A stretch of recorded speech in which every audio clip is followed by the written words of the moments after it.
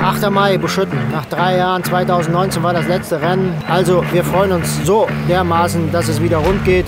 Yeah, so it's wonderful that uh, there's so many volunteers here. I heard uh, Rainer say that there's 250 volunteers uh, coming out to help for the race. So yeah, big shout out to all the volunteers. Yes, it's uh, going to be very tricky um, because it's very new to me and I don't know exactly how strong everyone is and what I can do on the bike. But I'm very excited.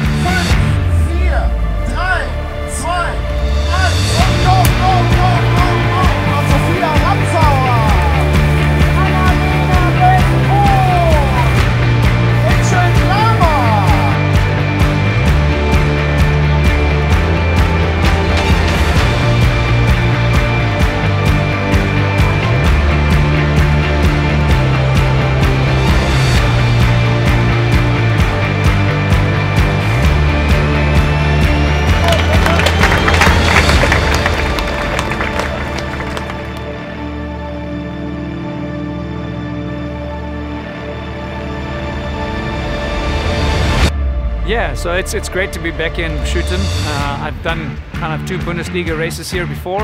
Yeah, I'm definitely motivated for the race. Uh, my fitness is slowly getting there. I'm not on, on top form. Great place to come to, and a 50 meter swimming pool for the race is going to be uh, definitely something different.